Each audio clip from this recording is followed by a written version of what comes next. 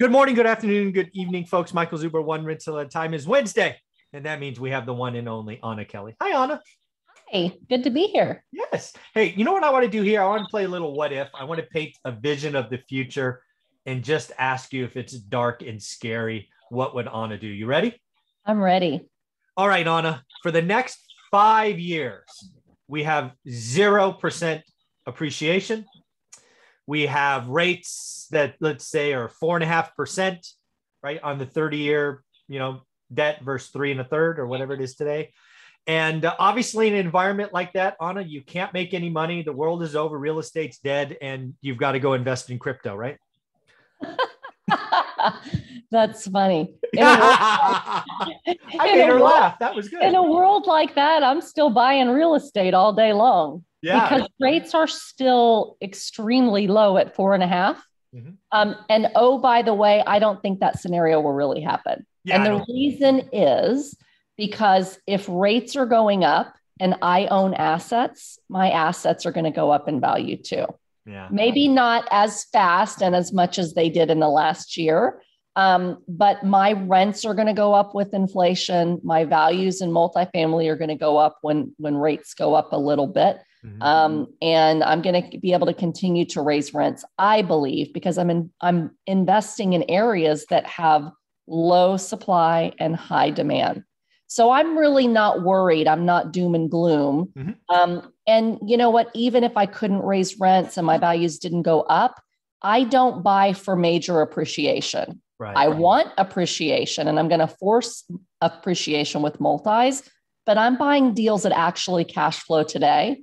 And if they cash flow today, they'll keep cash flowing tomorrow. Yeah, one of the things that I wanted to be clear here when I was thinking zero percent, you know, four and a half, even six percent. I don't care what the interest rates are. I actually would welcome uh, zero percent appreciation for five years for a couple of reasons.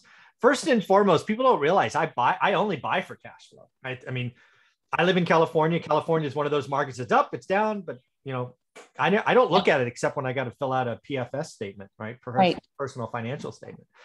I would love an environment of 0% appreciation because, again, I've been doing this a long time. Real estate to people business. Life happens, divorce, job move, all of this.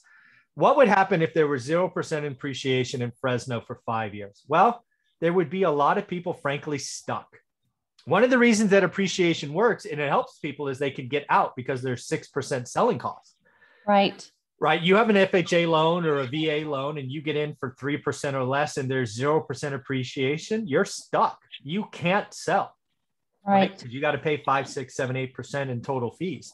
Well, an investor like me might come along and do a subject to deal and go, hey, I'll give you a couple of grand, you know, to move to clean it up and I'll take it over. And yeah, the, the loan will stay in their name. But I mean, there's the, the ability to do creative deals in an environment with 0% appreciation is astronomical.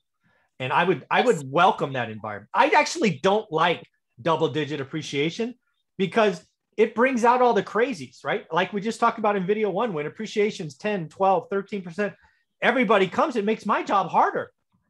Yes. That's yes. that's crazy, right?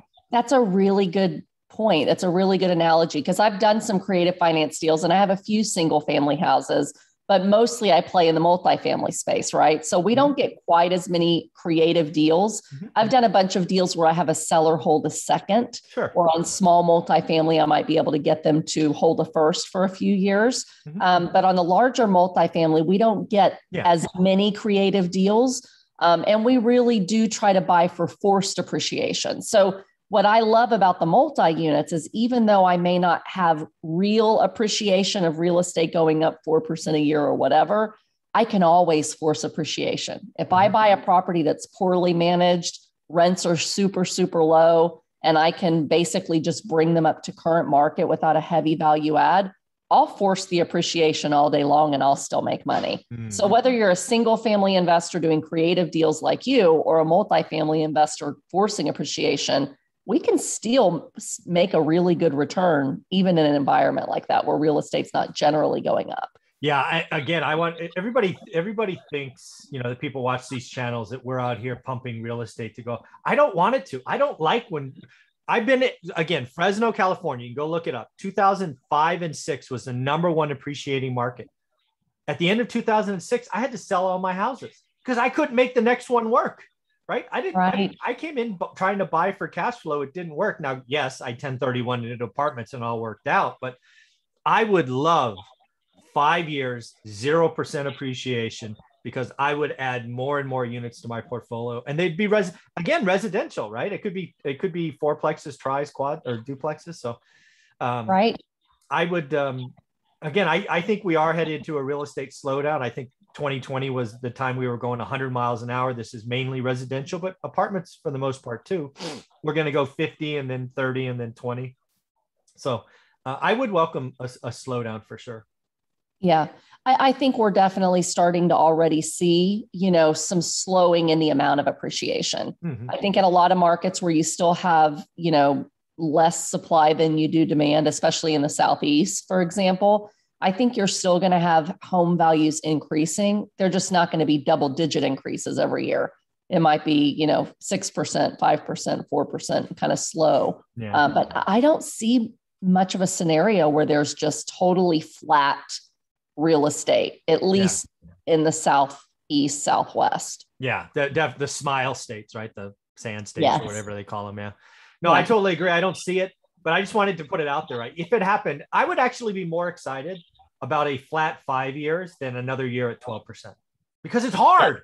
I can't get, I can't buy anything. It is hard. You're right. It is, uh, you know, it's, it's hard to do really, really great deals and very many of them in this mm-hmm. market. Yeah. Crazy times. So Anna, that was a fun conversation. How can people follow you? Sure. You can find me here every single Wednesday on one rental at a time. And you can follow me on Facebook, LinkedIn, and Instagram at Anna REI Mom Kelly and my website at reimom.com. Very cool. Thank you very much, Anna. Thank you.